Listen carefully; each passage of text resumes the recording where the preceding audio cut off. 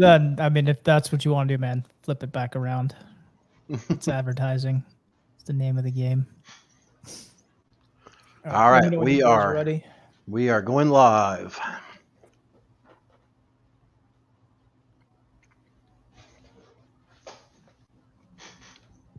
What's up, boys? What are we going to talk about today?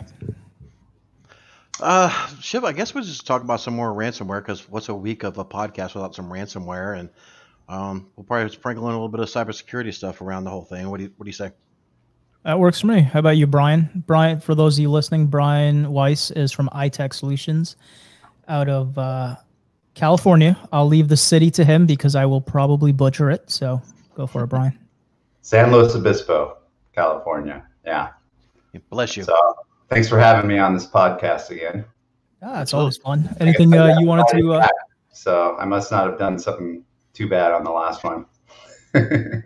No, we just want to bring you back for more punishment. All right. I Sure. think you came out pretty pretty unscathed. You know, I'm, I'm a glutton for punishment. It helps me develop my thick skin. we we've grown. We don't uh, go after people unless you're Kaseya. If you're Kaseya, we will go after you. But Yeah. anyone else, it's all good. So you want to kick it off, Eric? With uh, last week, all of the major ransomware players were putting their onion sites into the darkness. Well, not all of them, but there's definitely a, a moving trend, right? So we're seeing, you know, Dark Side is supposedly shut down. Um, you know, again, just for clarification, you know, no government is friggin' taking over it. Uh, you know, that's those guys were still in operation, collecting their money, doing their thing. Um, but their name and shame site is definitely down. Their payment portal is still up. Um, but yeah, um, now Avaddon is saying that they have shut down. I can't confirm that the, you know, we were talking about it last week. I was like, man, what's going on? All these onion sites are disappearing. Um, and then like 48 hours later, this thing starts showing up where they are releasing their decryption keys, which, you know, is about par for the course for any time you, uh, um, you know, the, any of these folks start shutting down. Um, the Can we talk about that a little bit? Because you know, I, I, I've been thinking about this and understanding, trying to put myself in their shoes and understanding why would you do this. And my first thought, and I'd like to get your thoughts on this, is you know they're essentially running a business, right? And and we all run businesses, right? So we have clients, and so you figure, you know, technically these are clients that have this Avaddon ransomware and it's almost like uh, it's not worth servicing these clients anymore because there's not enough money in it. And we've got a bigger fish that if we spend more time on that we can make more money. So it's almost like redirecting right? You've got limited resources. You don't want to spend time with that ransomware anymore because maybe it's not making as much money as some other opportunities. So you're shifting your focus. Is that kind of the idea? I don't think so. Uh, No? To put this, to put Avaddon into perspective, that article you had up there, Eric, my notes say they had they released 2,934 decryption keys. Mhm. So they had a lot more persistence and customers than even I have. I mean, if they're not a small operation. so, what so I why would they leave money on the table i guess is the question I think it's two reasons. The US has created this narrative about going after ransomware operators.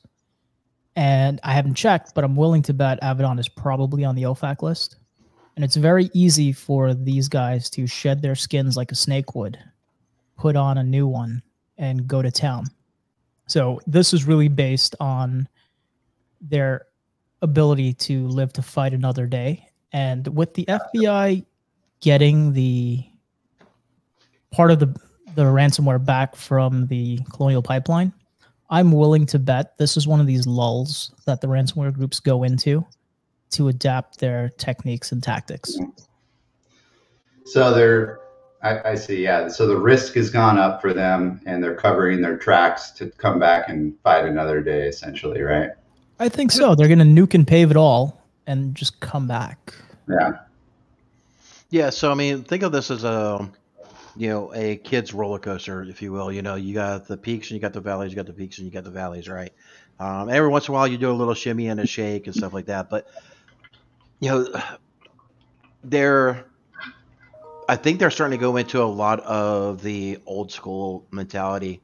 You know, when I say old school, I'm talking about three, four years ago, where the ransomware groups will operate for six to 12 months and then disband, regroup, and come out as a different name. And I think that's what's going on. You know, you know, I, I know a lot of people are going to want to say, "Oh, well, you know, our government is awesome, and they are, you know, just doing so much great stuff, and they're making these people shut down and run and hide and you know it's just bullshit to be honest with you in my opinion this is purely you know them you know so let's just say you know this week i go by my legal name of eric taylor and i go commit 13 robberies you know but then i'm like okay i the heat is on me i need to you know do something different so I stop using the name Eric Taylor and I start using Billy Bo Bob. Um, I wait two weeks. I you know learn a new trick of how to break into your house, and I start doing it that way. But now I'm going as Billy Bob, and it's kind of the same mentality. They're they're not going anywhere. You know, me and Shiva joke that they're all in one building. They're just moving from cubicle to cubicle to cubicle.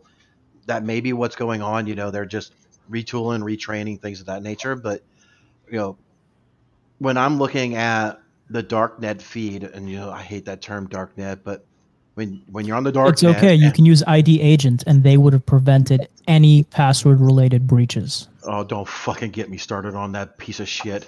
Um, the we're not going to troll that too much today, I don't think, but maybe. The Shiva's always got the triggering mechanism with anything can say it. The um, actually made me lose my train of thought. Great job, man. You know, one thing is I would say that the ransomware operators seem to be very dynamic and they can turn a semi on a dime. And I think this is what it is. But the big bad wolf of ransomware, REvil, has been very active in the last week. And they yep. have now said they will specifically target US companies, US government entities, and they don't care. So we've got REvil and we got the and I'll butcher this freaking name, Prometheus or whatever, which Prometheus. is the group Prometheus, which is the group of REvil. And I posted it out there earlier, and I kind of poked back Matt Lee on it on Twitter to see if, uh, or uh, LinkedIn to see if he wanted to play games because you know he's um, doing the whole try hack me websites and stuff like that. I'm like, you, you want you want a real challenge? Let's go play. But he never did take me up on it there. In his defense, I don't think I would want to poke Prometheus or REvil either. I like my life, dude. I I want to poke that WordPress site so bad. Oh. hey, didn't you send me something that one of the ransomware strains are now on GitHub?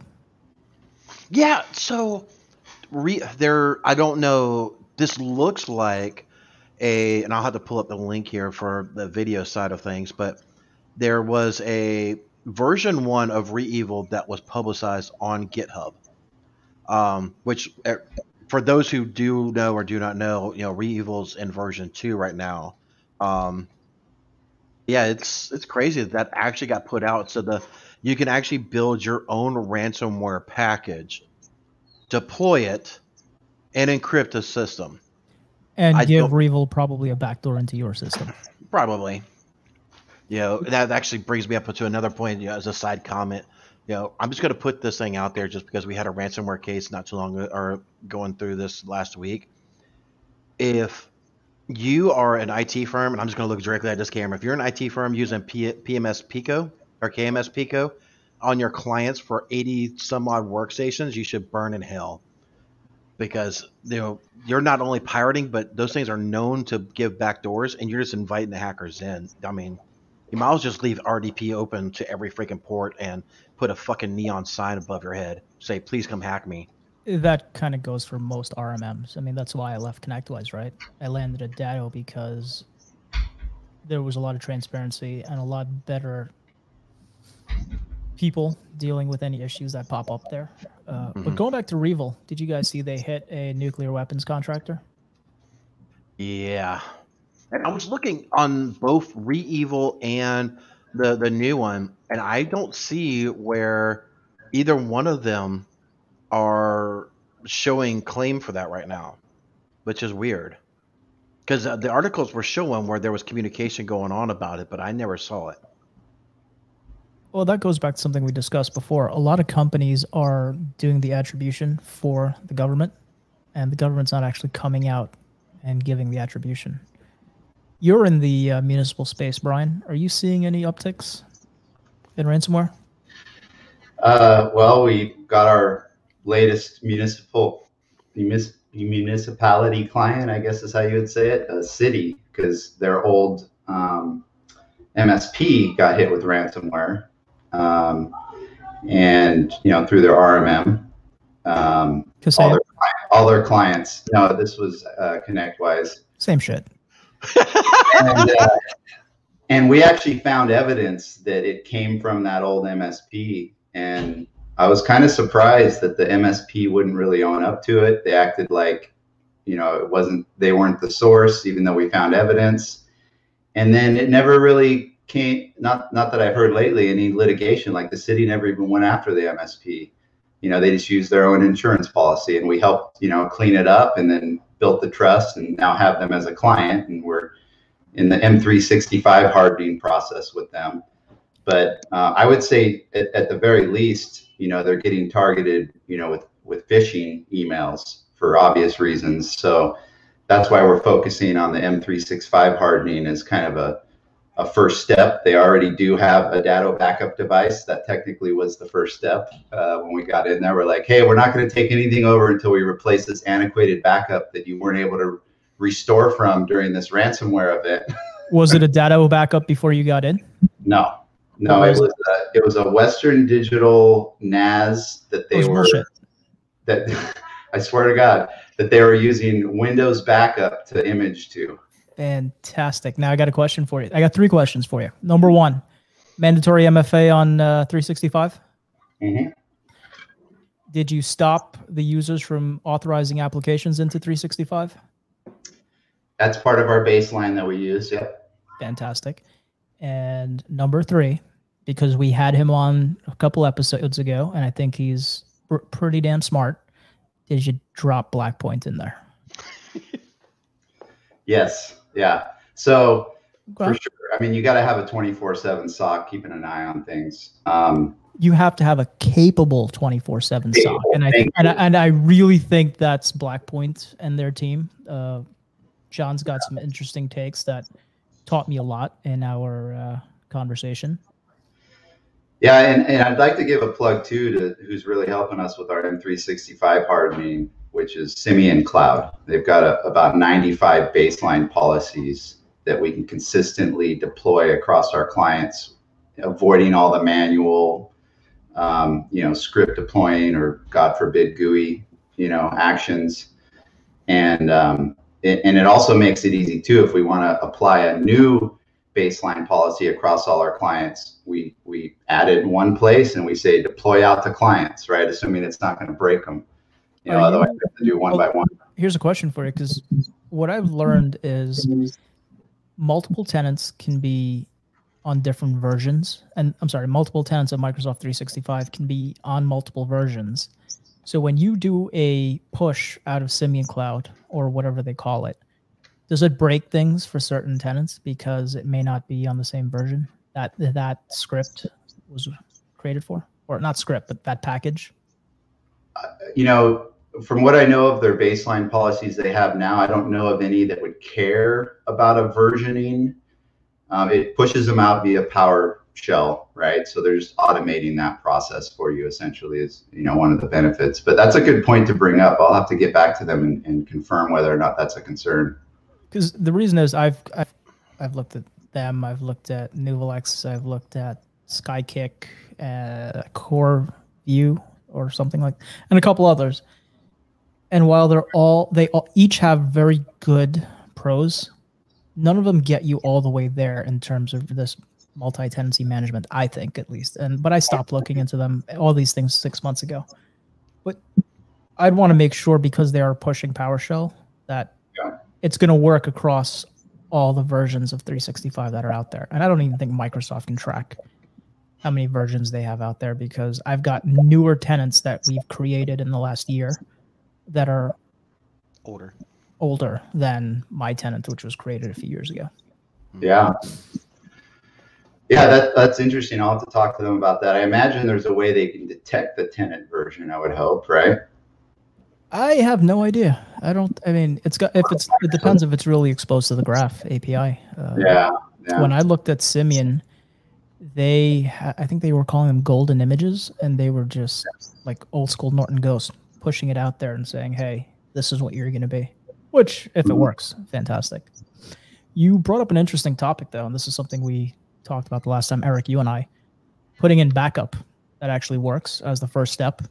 Why why is that your first step and not just going to secure them instantaneously?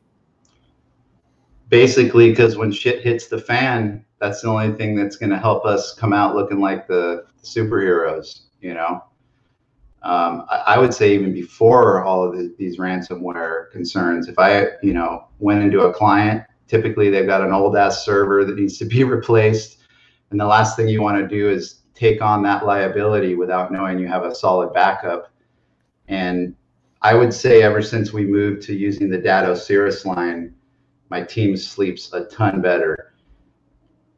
Now, are you using their virtual SIRIS or are you using the hardware? We're using their hardware, yeah. Why not the virtual?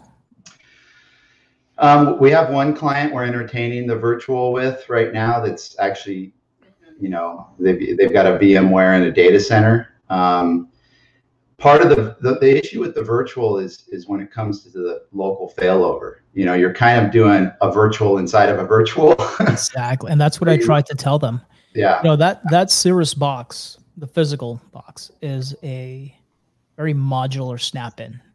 You take it out of the packaging, slap it into a rack, plug it in, put the agent, whatever the deployment is, and you're rock you're ready to rock and roll within an hour. I don't care if you have 10 servers, 100 servers. You're ready to go. Now, this virtual SIRIS, I'm going to virtualize in a in a virtual. I mean, you're get and the weak part is still going to be that client's hardware. It's an Yeah. easier conversation to say, "Hey, let's get this box, put it in, and it's going to do X, Y, Z for you," as opposed to, "Hey, that aging server that you bought with too few resources three years ago because the MSP wanted to make the previous MSP wanted to make the sale, is probably not going to pass muster."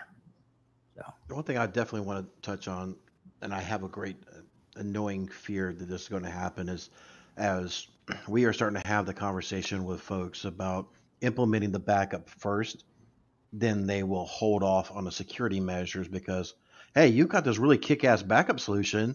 Why do we need all this security? You're able to recover us, right? What the hell? Well, I think that the conversation there, and you guys correct me if you disagree, is the backup is there to get you back up and running.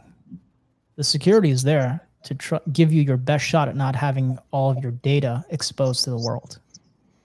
Mm-hmm. And it's as simple as that, I think. Yeah. Yeah, and, and you're going to see, you know, I'm on the fence when it comes to government regulation. I, I like the fact that um, it helps, you know, hold people accountable. I hate the fact it's the government.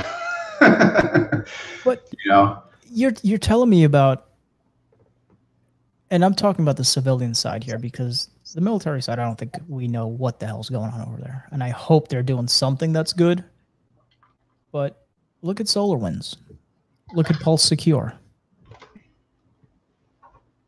Mhm. Up until a month or 2 months ago, which would have been 2 months after Pulse Secure, they were still being exploited by nation states inside of government agencies.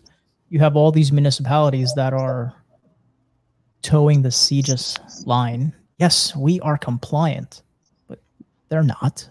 And half the guys out there doing CJIS work aren't going to rock the boat because they keep wanting they keep want to be select be selected to do that CJIS work. Yep. Yeah, it's all about their bottom line of being able to be able to get that consulting revenue, whether they actually fully obtain the, the self attestation of CJIS or anything else. It's definitely, um, it's definitely hit. You know, we talked about it before, show that when these folks are supposedly uh, migrating away from NIST 800 171 over to CMMC level three, they're coming back and saying, well, we need all this money. We need all this money to get this thing achieved. Um, and they're like, why? You said you were there. You're just adding 30 extra controls. Why do you need 1.3 million dollars? 1.3 is a fictional number. I'm just throwing out there, but they're asking for gobs and gobs of freaking money. You know, and it's you know, like we said before, Shiva. You know, just to bring Brian into the loop of the conversations, um, because nobody actually watches the, these videos at all. But um, the there, it's all self-assertion. You know, it's just saying we are this, therefore we are, or we must be. It's it's. I think it's check. It's that checkbox mentality, right? And we discussed this the last time. It's hey, let's get FireEye in there because it's going to check these boxes for compliance. You go back in, in a couple years, there's nothing there. Mm-hmm. I mean, mm-hmm. it's it's out of the box configuration. Uh, Brian, how many times have you taken over clients and you see a basic installation of a product that has not been configured? Yeah, the, the, the city we took over had a Sophos in there, and I, and I go in. I'm like, great, let's grab all the logs off of it. They weren't logs. Yeah, they weren't piping anything to SIEM. They didn't even extend the default settings to try to keep long, a larger, you know, a longer amount of logs. Were it they was, auditing? No, it was it was it was like very base, you know, setup. So, and they didn't even really have the right model for. I have a question here for you. Municipality did they have to follow CJIS guidelines? This one does. Yes, they have did a police they? department. Did they? No, and we're actually they're in in you know technically they're still not CJIS compliant, right? I mean, but they're working towards it. We're working you, towards it, right? Yeah, yeah. Which is a big difference from, hey guys, here's our paper. We're we're CJIS compliant. Yeah until now were they claiming to be CJIS compliant or they just flat out knew no we are not because whatever they had to otherwise they would have gotten cut off from NCIC would they really though? No. Exactly. They would oh Brian were, were they were they under the impression that they were CJIS so, compliant? um no I'll, tell you right now, they knew they needed major security upgrades when they came to us, which is why they got approval to spend more money to work with us. Uh, but what's interesting too is the other the other side of it is were they even being asked the right questions? Because when we first took them on, they gave us uh, a questionnaire that they got from the the I guess the, the county they're in, one step up, right? Mm-hmm. And um, and I looked at that questionnaire and I was like, uh, yeah, you know, I, am answering some no to these some of these questions, right? Because you don't have it in place, but they're also missing like 20 other questions they should be asking you. You know, so take this report with as a grain of with a grain of salt to think that you might be secure just because we answered yes to everything eventually. You know, mm-hmm. so I think that's part of it too. Is the sense that um, you know it's a smaller city, right? It's not a huge city right? And so when you get in these smaller municipality districts, are they even do they even have the pressure on them to to care? You know, and that's what I'm hoping they get more pressure with as we see CMMC come to light. Um, and you know, we're not dealing with all these different types of. Uh, Sorry, go ahead. Uh, go ahead. I was going to say we're not dealing with like CJIS or NIST or you know, it's not all these. Depending on what you are, with CMMC, it's going to be, you know, hopefully more consistent as far as because of the organization you are, you need to be at this CMMC level, right? But that's going to be for you because you care about your business, you care about your clients, and you want to raise the standard of you and your business. CMMC is not going to apply to the civilian side, as far as I can tell. Right now, it's only going to be DoD and their subcontractors or yeah. the primes shoving it down the subcontractors' throats. Oh, but wouldn't what, executive order solve all that for us? You know what? Show me when MFA is completely deployed in four more months, five more months. let's let's see let's see that get done first before you want to talk to me about new standards and new ass scratching. Well, and there's another thing uh, you know, another thing about compliance and being held accountable that, you know, I'm coming to realize too, especially with SolarWinds, e- even if you don't have the proper uh, security in place, um, but you've got a you've got a plan created that says you'll eventually get there, and the reason you're not there now is because it's you can't financially afford it.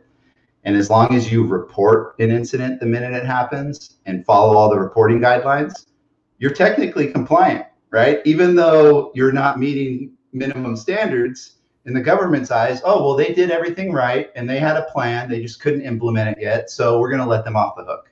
And this is why compliance and security are mutually exclusive. Yep.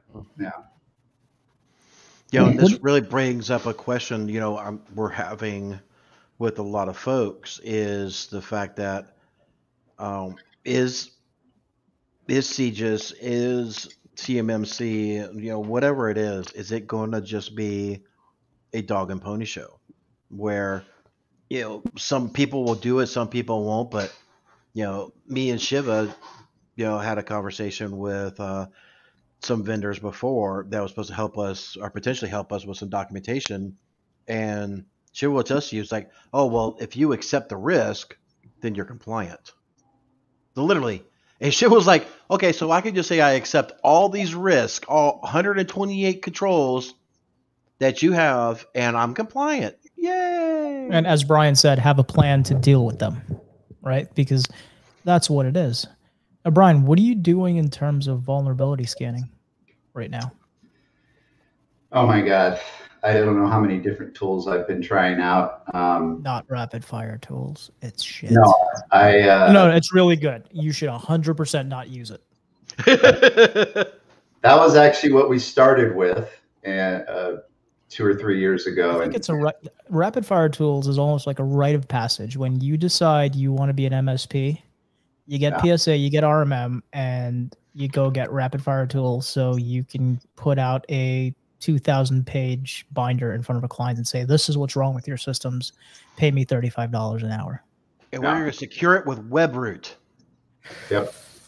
So I, I went from you know rapid fire to I'm going to get the best of breed. Went to Qualys, uh, and what I found with Qualys is it's uh, definitely made for the enterprise. And you know, for my 25 devices on my network, I'd get about a 3,000 page report once a week that they expected me to go through, and you know, and deal with. And so that became I didn't have the resources in house to use an enterprise tool like that and actually, you know, perform due diligence in in you know correcting everything.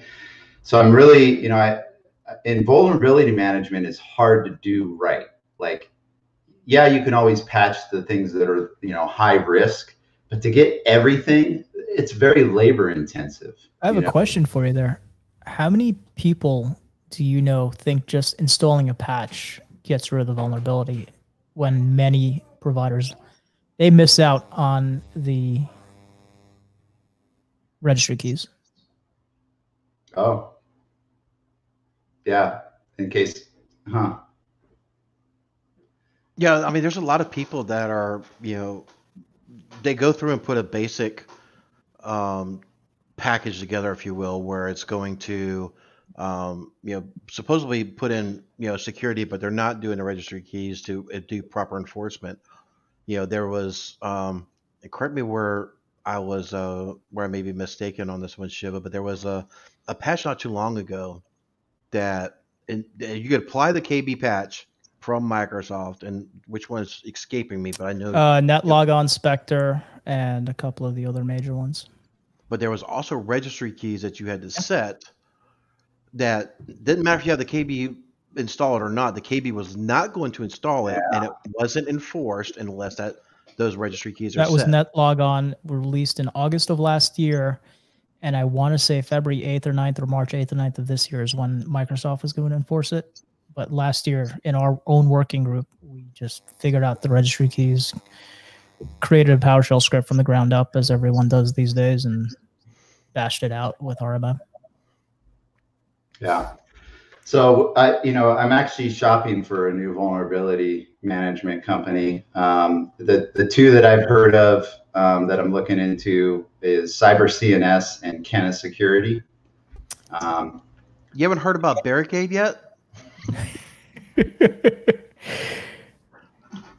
They they do they do vulnerability scannings. Uh, we had a call Eric and I with uh, Cyber CNS this morning, uh, Mhm. and the call was really about figuring out their data model. And according to them, they are not able to access any data you put into their product, which is refreshing for an MSP centric company these days. But it brings me back. I think uh, John over at Blackpoint mentioned they were going to be doing some interesting vulnerability scanning additions to their platform. Mm-hmm. Yeah, I think John was saying we'll have to go back and look at it. Um, but there was uh, mentioning where they were originally doing Shodan. That's what they're doing right now, but they're yep. building something else that's more comprehensive. Mm-hmm. And I kind of put words in his mouth saying, "Hey, why don't you just go to Tenable and bring him in?" He's like, "Well, we are friendly with them, and they are across the street, so hey." Yeah. yeah. Maybe it's episode twelve, I think it was. I don't know. I'll put the link or thirteen, whatever. So I, I, if you're steeped into the whole Blackpoint cyber ecosystem, that might be worth a conversation with you and them. But I did like what I heard out of Cyber CNS. Only thing is, they're you know internationally based. Um, no offices here in the U.S., even though there is a administrative office in Canada, or Canada as I call it. I'd rather have a company here where there's some degree of recourse, even though I there's do, zero transference of risk. Even though they do have that, I do think from a vulnerability standpoint, you know, those of us that are going down CMMC and want to start doing that DoD stuff, that will give us at least a as close as possible to a FedRAMP model by being a standalone instance in our own tenant that we're able to monitor. Well, let me ask you a question here. Er, you know, we've been chasing. I think the three of us have been chasing some degree of CMMC for the last year, probably. Mm-hmm who's actually made any progress with it?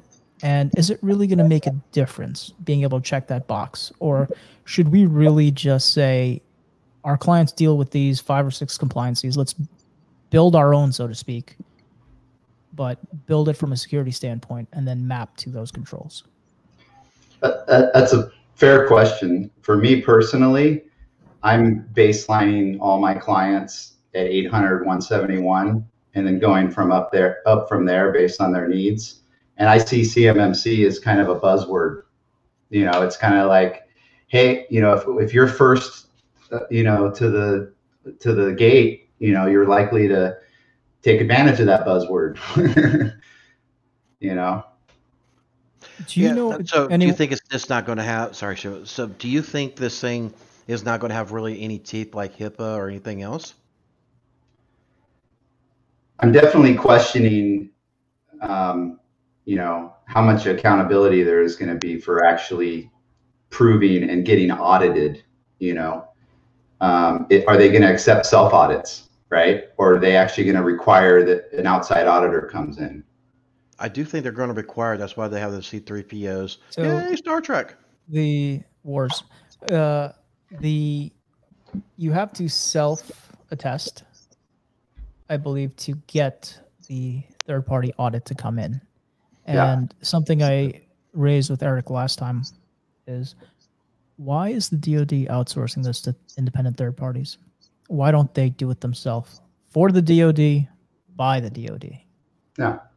Well, you're going to get the good old boy network, right? I mean, just like you see in every industry, you know, the FDA, you know. No, come on, that dude, like, that that that that's fake news you know, everything a, is 100% legit, above yeah. board. There's no impropriety anywhere. Well, you know, it's going to be big contracts on the line. Hey, I know this auditor. We're good friends. You know, he'll make sure we get this contract. Oh, we're missing a couple things, but we're going to make some notes to be able to pass that, even though we don't have it. You know. And that's see that problem, brings up right? the point. That brings up the point that I brought I brought up to you, Shiva. How many of these assessments are going to go through and be like, well, I'm just going to pass you a little bit of money right here. You're just going to say I'm compliant. And Every move- single one. Not All right, some. Um, I give up to a CMM. What's that? I, I give up doing CMMC now. Well, I think you really just got to look to secure your house, and whatever security you build out, you map it to whatever compliance you need to. Because quite honestly, what you will need from a security standpoint will change faster than legislation can ever change any compliancy. Yeah. And that's that's the harsh reality of this. So Yeah, I mean, it, it's at first secure your own house. Obviously, I, I learned that one the hard way. Um, but secondarily, you know, th- there's an ensued liability with any of your clients where they think they're secure because you're servicing them. So unless you've got some sort of baseline uh, security audit that you can show them where their gaps are to establish that transparency and understanding, you know, the client's always going to assume you're keeping them secure. Well, let me ask let me ask you a question here because this is one of my trigger topics, and I call it the the transference of risk fallacy that's found within the MSP community. MSPs love selling themselves as, "Hey, we'll become your in-house IT team." So it's just like having your own employees, we're going to do it for you. Whereas I think the conversation should be, "Hey, we're an IT company and we're here to help you get to a point of security. We're here to help you get to a point of compliance as it relates to IT." Mm-hmm. Because and I liken this to attorneys. They will work hard for you but they make it very clear the risk is yours and only yours. Whatever doesn't matter what happens to you, their life goes on, no problem. And I think Mhm. that's the tone and that's the direction we have to take with our clients and say, listen, we're here to help you. If you want to listen to us, great. If you don't want to listen to us, fine. But at the end of the day, the risk is 100% yours, not Mhm. ours. And then the only blowback we should be able to have is malpractice, you know, or some version of that, I think.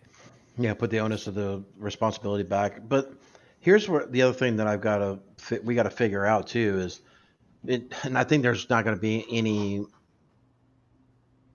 any recourse or any rationalization of this, but you know, customers, especially in the world that I live in, incident response, they're they're always like, "Oh, we thought we had it, we thought we had it," and the IT guy's like, "No, I keep telling you, you didn't." You know, so there's always seems to be a disconnect, and you know, I don't know if it's just a, you know, they're just, you know, they're in shock because they're in an incident that we're having to respond to, and they're paying us to, so they're trying to make it look like they're not as bad as of a person as they feel that they are, maybe, or you know, they're just trying to throw a shade on someone else, and you know, just again, not look as horrible. So it's, it's, I don't know, man. I, I always question. Yeah, we do know that there's a bunch of pizza techs out there. We know that there's a bunch of folks that are just a shit for a company type of solution. You know, how many of Hey, these stop beating really, up on Kaseya. No, sorry. Um, Brian, your turn. That's good. Um, but there's uh, you know, how many of these companies are actually consulting, and how many of them are not? You know, I don't know. It's it's always Well, there's an issue too where like me at the maturity level i'm at i'm not even dealing with small businesses anymore right because they're they just don't have the budgets the the understanding of investing into it and so i personally kind of feel bad that okay i'm focusing on these other businesses that actually care right because i have a business to run myself and i don't want to take on a shared risk with a client that's going to be a pain to work with but that's where these pizza techs come in and they swoop up these small clients and they don't do their due diligence. I mean, quite honestly, the client wouldn't pay for it anyway.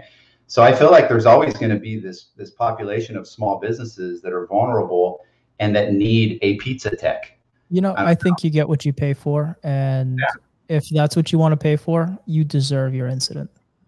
I, I have no qualms or pity for them. If you want to pay, you know, fifteen dollars for something that should really char- be sixty-five, a hundred, whatever the price is, then you're gonna get what you pay for. Yep. And you have a family, you have employees that you need to take care of. And the only way you can do that is by doing business with companies that value what you do and invest in protecting their own people. So, Yeah. Mhm. and you know, one industry that I think is going to try to escape from any type of security or real compliance is the medical industry. I have never seen anything worse than that. HIPAA is the big to me. It's the biggest joke in Well- terms of technology. Let me tell you a short story. My wife went in for a, a non-invasive surgery last month, And in her recovery room, right next door, was a COVID patient. And they assured her, oh, we're taking all the proper precautions to not spread COVID, right? And sure enough, what does she do? She brings it home to me. And then we both have COVID all of a sudden because the hospital wasn't even following their own safety guidelines. So do you think they're going to follow HIPAA? You know, um, it's the Wild West, man. Yeah.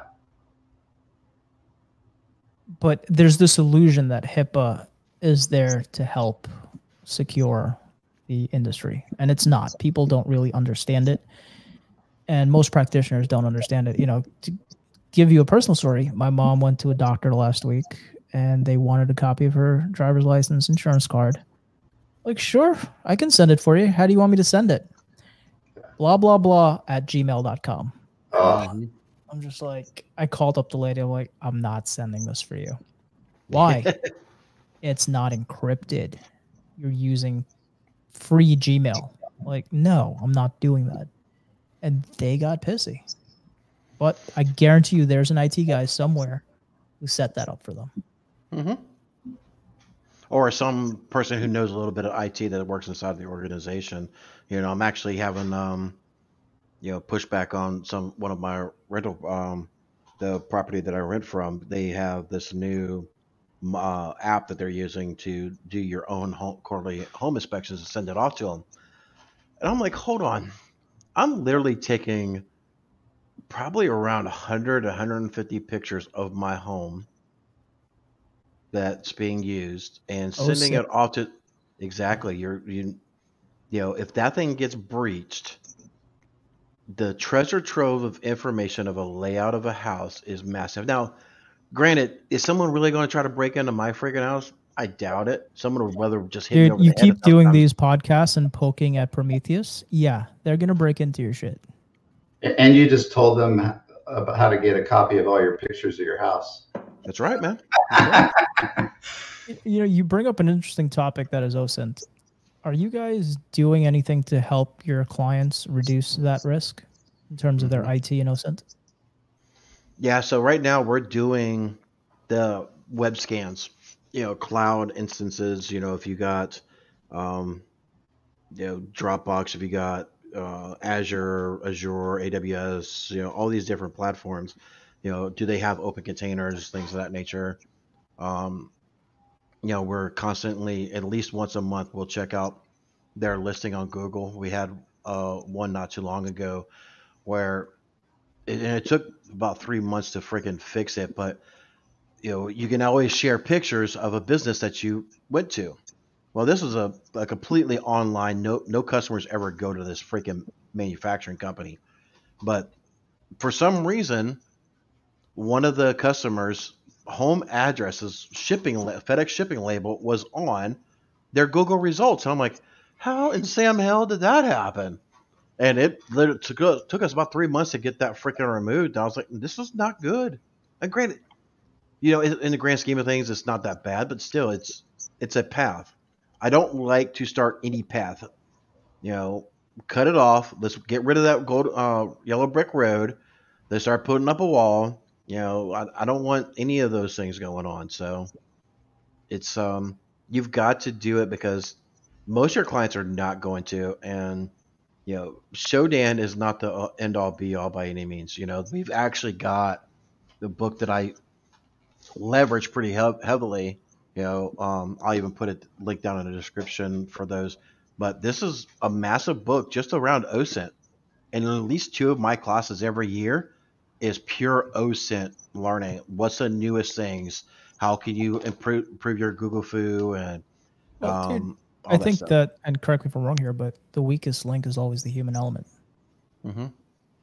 Computers don't program themselves yet, so we are the weakest link. Yeah. Goodbye.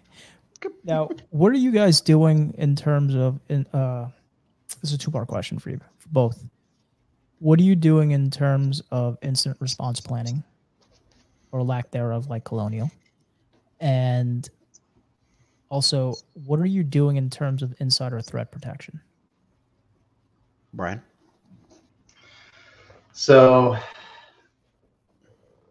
I mean, on the incident response, it's a work in progress for us with our clients because it really is, unfortunately, kind of a two-way, you know, street when it comes to that. It's not just everything's on IT when an incident happens, you know, especially if there's certain things that need to be happening in a timely manner.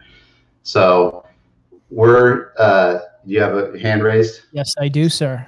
Yes. If you silo IT in your contracts for your incident response plans, and you're baselining your clients, you can platform that and make it a very easy workflow. And offline, I'd be happy to share with you with what I'm doing.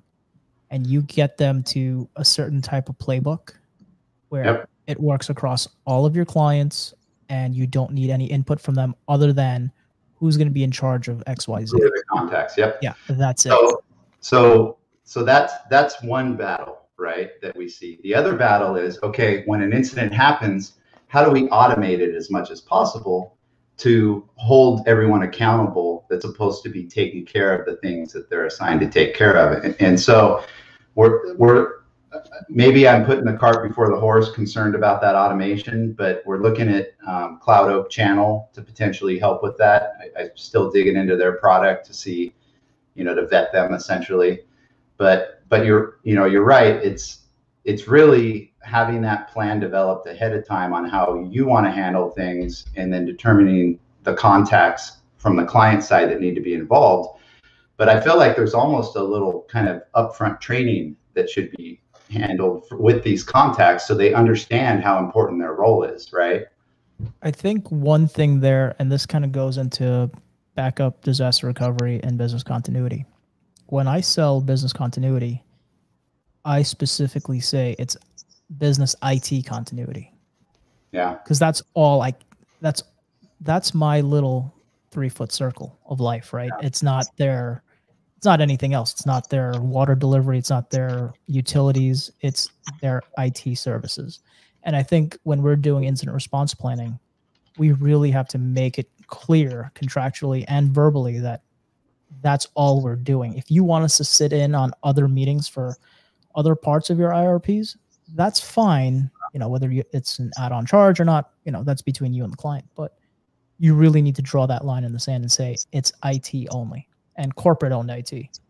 Yeah. At that. Um, well, I mean, you're right because I mean, you could even consider like an active shooter an incident, and how do they respond to that? And is that how related to that is IT? Do not use your lap, laptop as a shield.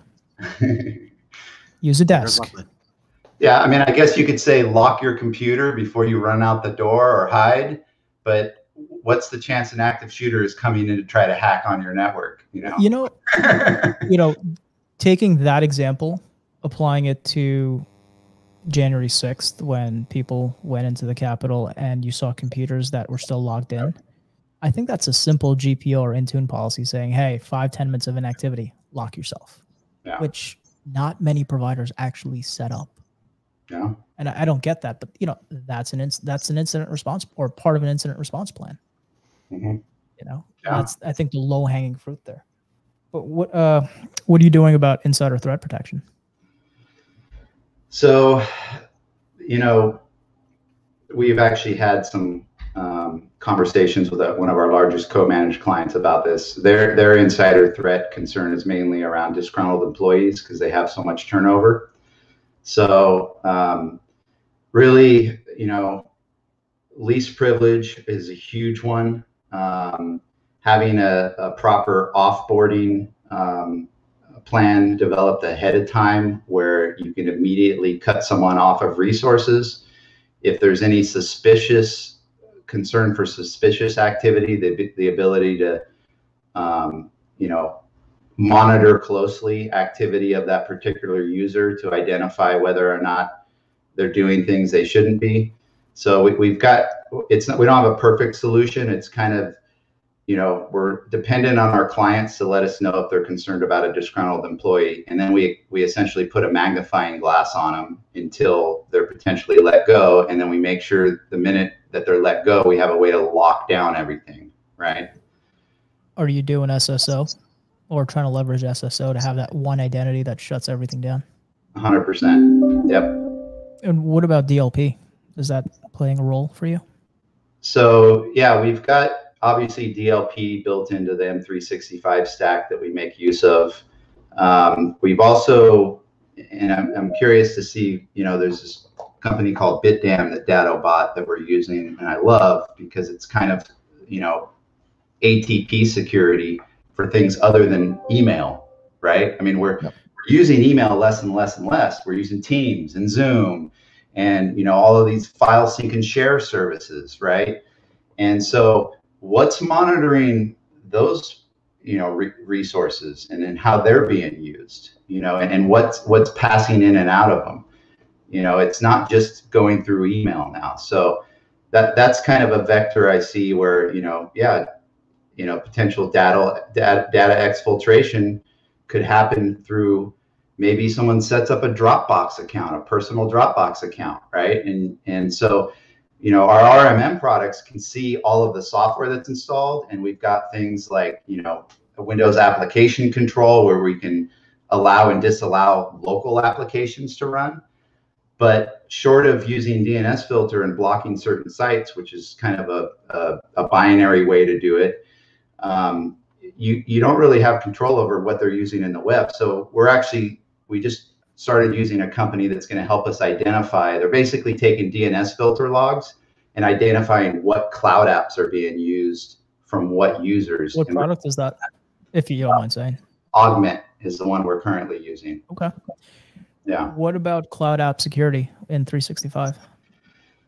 Yeah, we, we require that as, as our baseline um, uh, security is, is part of the licensing. So we do an add-on if they've only got the 365 business premium. And, and that obviously is where you can do some enforcement, you know, deny approve. Um, but first you have to know what's in the wild to know what to deny or, or approve, right? Is Simeon Cloud doing anything in that part of uh, 365 for you? Not on their baseline, no. Um, they they well, they have a they have a policy they put in that you can tweak, but there's nothing out of the box where they're automatically blocking certain things for obvious reasons, right? Yeah. So you have there to, should there should be at least an audit mode that flags, right? I mean, yeah. that would yeah. be nice. I'll, I'll have to double check and look into that. Um, the problem, the reason we went the Augmentt route is because we've only got about probably 70% of our clients on Microsoft right now and some are still using G Suite that we're getting moved over, or, or they're on um, our old partner. We used to use AppRiver before you know Office 365 was a thing. We were using hosted Exchange through AppRiver, so um, we needed a, a, a product we could use across all of our clients, you know, for this initial need. But yeah, I. I'm finding that more and more of these third-party tools that we're using now are eventually going to come baked into Microsoft, and it's like, why you know duplicate efforts you know? I think so. The the only product i really leverage outside of 365 is probably crowdstrike. If i could do real multi-tenancy management of AT, uh, defender atp for endpoint or whatever the name of the day is that i'd give it a serious consideration. But also i quite enjoy having the crowdstrike overwatch soc looking over the endpoints well, and, and I'm sure SOCs are going to integrate with Defender ATP if they haven't already. You know. What so, are you using for your endpoint protection? Uh, Sophos. Okay. We had Cylance. We went from Cylance to Sophos, and uh, I have no problem going to Defender ATP down the road if I can make it efficient enough for my team to manage. Um, the, the one you... I like about Sophos is we're also using their UTM, so you get the endpoint to UTM communication, right? Do you really need that though? That's a good, great question. You know, maybe does it actually work? Yeah. Because uh, you've got isolation built into Hitman Pro, which is Intercept or whatever they call it now. You have isolation built into the standard NGAV agent. You have isolation built into the Wi-Fi I, I see it more as, you know, obviously the isolation, you're right. Maybe there's other ways to do that. But it is nice to kind of have centralized reporting, especially for incidents where you can pull, you know, information from the firewall and the endpoint and kind of correlate all that together, right? Are they actually doing that? Because I was using Sophos MTR for a little while, and it was a horrible. It was a hot mess. So I, I do not use their MTR product or their EDR. Okay. Oh, that's your Blackpoint side. Yeah, we're just Intercept X Advanced is what we use. Gotcha. What about you, Eric? What are you doing for AV? Uh, right now we're doing Bitdefender EDR, but we are in a proof of concept with CrowdStrike. I really like CrowdStrike. It's a Yeah. fantastic product. You know, when you when you start looking at stuff, it's like, okay, um, what are the big boys using? What what are the like in MySpace? What are the other incident response companies? They're using Barricade Cyber. What else is there? Come on. That's right. Uh, but yeah, I mean, there's other companies that are using a lot of different things from um, CrowdStrike. So we're we're going down that path to at least help us advance our incident response. Um, we're going to be looking at a Red Canary for some of that stuff as well. So I've, I've got a question when it comes to to socks, right? There is Green. good. Are we, The- are we talking about security operations centers here or what I put over my crusty feet? not Or the left or the right sock, the Security Operations Center. I mean, they're only as good as the information they have access to, right? That they can mm-hmm. see on your network, right? I fundamentally disagree there, and I'll tell you why after though. Okay. So my so you know one of the, the reasons that I, I, I liked Blackpoint Cyber mainly because they take a different approach than most SOCs. I find most SOCs rely on a SIEM to understand what's going on on the network. And then when you look into the complexities of how does that information even get to the SIEM, and then how much information is in the SIEM, and then you're basically spending most of your time building and perfecting the mousetrap so that you can then identify suspicious behavior because there's too much information to be able to do that manually versus looking at actual real life playbooks and like here's how threat actors are here's what they're doing in your network now and focusing on identifying that activity versus a bloated SIEM with a bunch of information where you're constantly trying to build a mousetrap to identify it. I don't disagree with you there with your and to me it sounds like you're describing what Blackpoint is doing, which is why I like them. yeah There are managed SIEMs in the channel or managed SOCs, whatever you want to call them these days, who talk a big game, but their product is absolute garbage. And I'm not going to call anybody out here. Um, but I know of companies who were using these managed SOCs, and these are end client customers, not the MSPs using that managed SOC. They had the best antivirus on there. They had the best monitoring solutions like Tenable, FireEyes, and everything else. And this SOC didn't integrate with everything, but the ones they said they integrated with completely missed incidents even after they happened. Mhm. So I think there's a lot of Kool Aid out there in terms of managed SOC, SIEM, or whatever the term is. And if anyone is using any of these things, you should get someone to pen test. Not pen test, but you should get someone to do some kind of test to set off the alarms and see what they do. Yeah, I mean, it's definitely different than testing an antivirus because typically those are tested in, in vacuums. But, you know, so you, you have access typically that the average threat actor may not have access to initially, or that if they did get that access, you'd, be- you'd be having alerts fired off letting you know, hey, they're this far into your network, right? Or not, because I use that managed SOC, and Eric loves this story. Yeah. Eric was banging on the door for maybe an hour or two, never got alerted.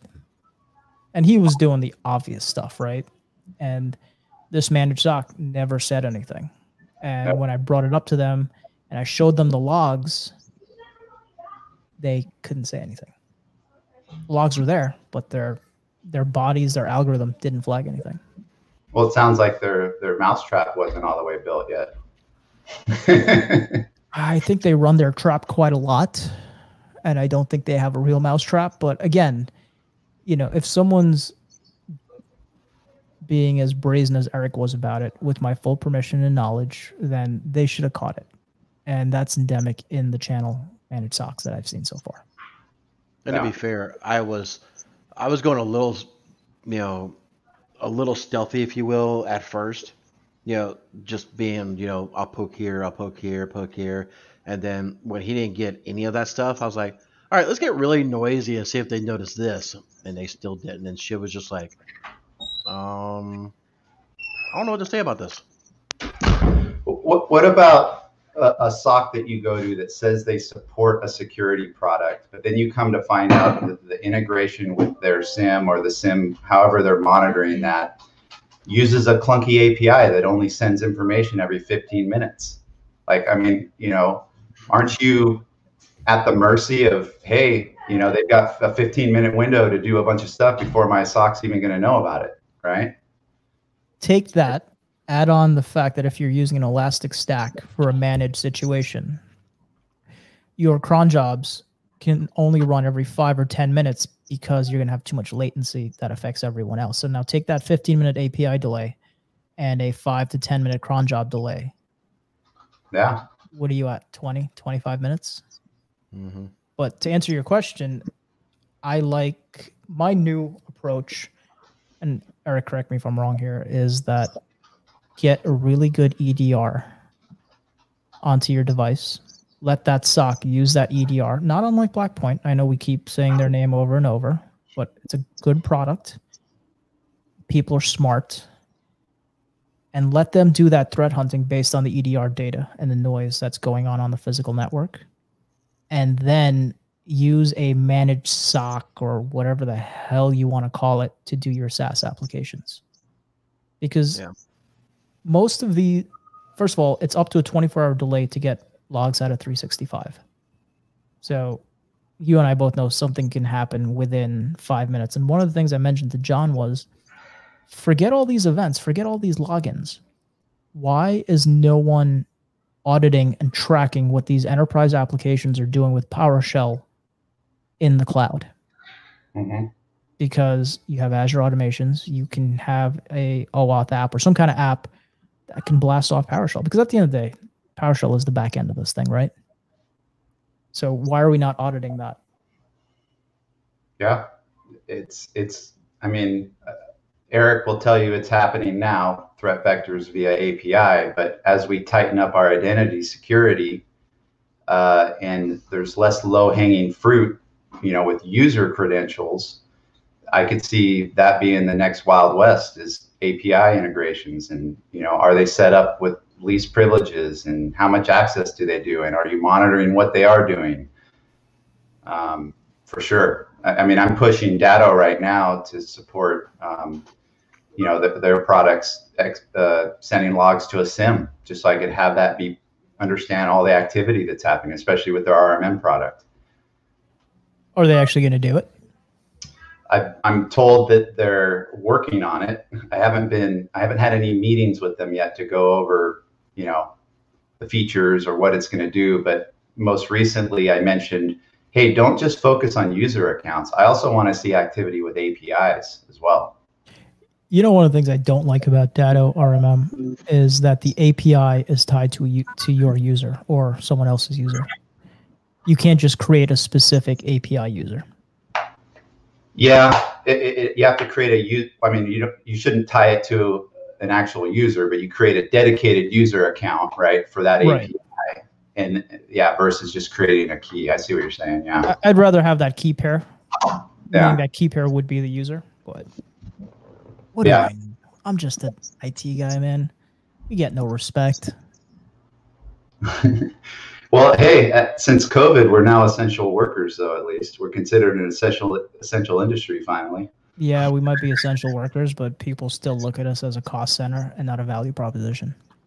And I think there's a direct correlation to that and the number of pizza techs out there. Yeah.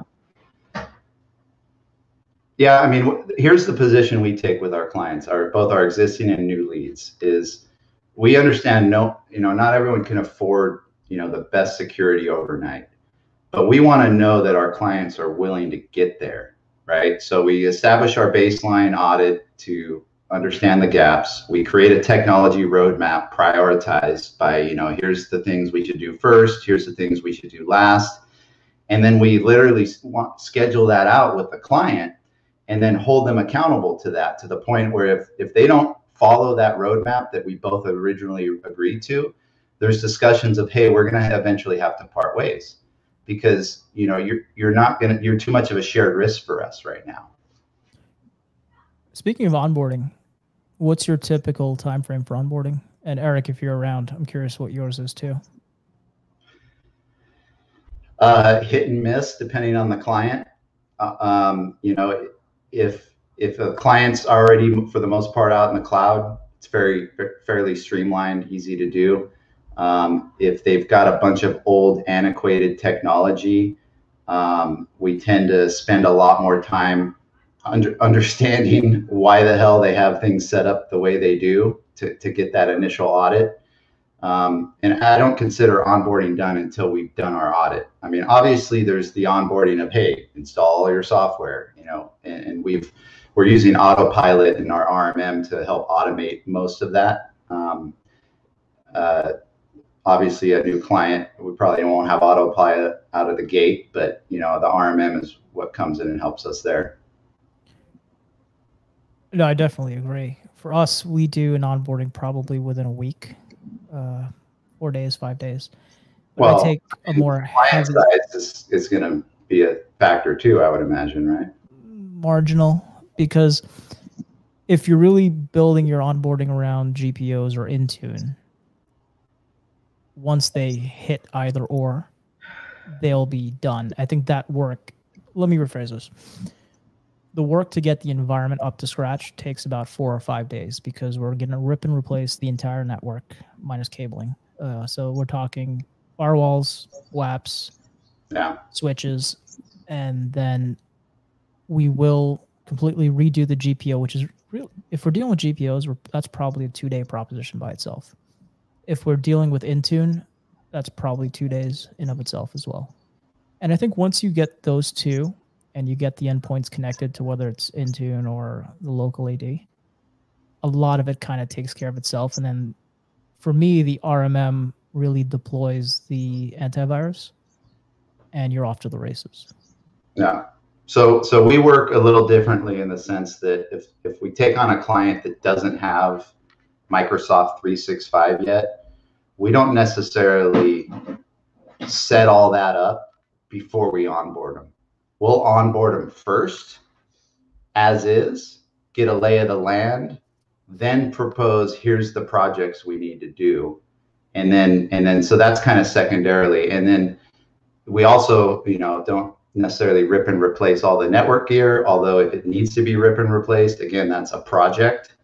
Um, and then it gets a little trickier too now that we're in the co-managed um, vertical. The pissing contest yeah, where you, where you can't necessarily go in and rip and replace a lot of stuff, right? And and that's a vertical we're getting into by high demand of internal IT departments wanting MSP tools that they can't buy direct. And I'm literally getting leads from vendors selling thousands of licenses of these tools we use.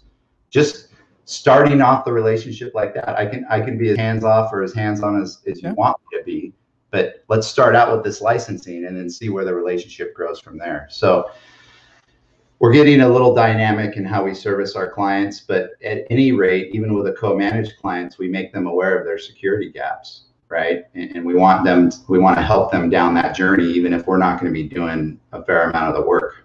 You know, I think for me, at least for my company, if you're going to be a managed services customer, we take a very heavy-handed approach. Like it's, mm-hmm. it's a very narrow parameters, and yep. this is how it is. If you want to deviate out of that, you have two options. You can be a VAR client of ours, where you know we resell you what we need, and then you buy time and material, and we'll do that. I have no problem with that. Or you just go find somebody else. But if you want my managed services, you have to walk that narrow line. Because now, now, what if there's so much work to do that you can't get it done in your four to five day, right? I mean, you've got to phase things out because you can't do too much at once, right?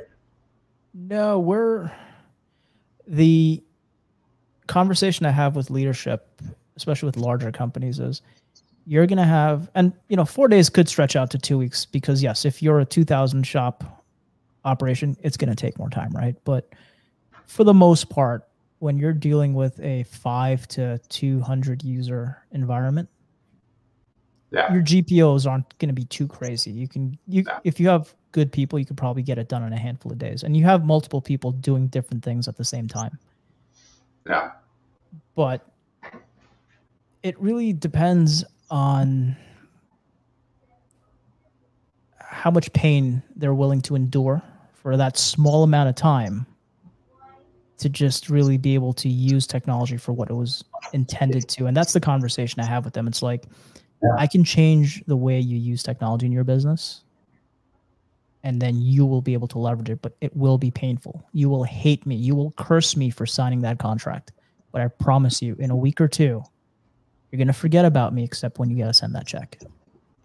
No, I, I actually like that approach. I'm going to consider using that. I mean, it's kind of the rip, ripping the band-aid off approach, right? Yeah. It's like we can make this slowly painful for you, or we can just rip the band-aid off and get it all done. you know? Exactly. You know, I had this one client we onboarded. They were using public IPs internally, nothing routed properly. And it was co managed. The CTO or CI, whatever the tech exec was, okay, we need to phase it across these 10 sites. We can't. I said, no, we're doing it all on the same day. You got two choices. We can do it after hours or we can do it first thing in the morning. And he was like, no, no, no, we can't. I'm like, no, we're going to do it. Went, went above them, went to their uh, uh, manager or whoever. He approved it.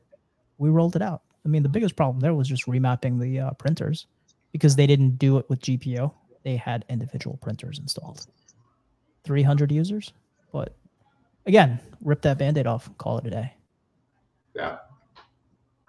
Yeah, I, I, I can see taking that approach with some of our clients. This last one we did was a nonprofit, and oh my God, about half their staff is afraid of technology and change. The other half kind of embraces it.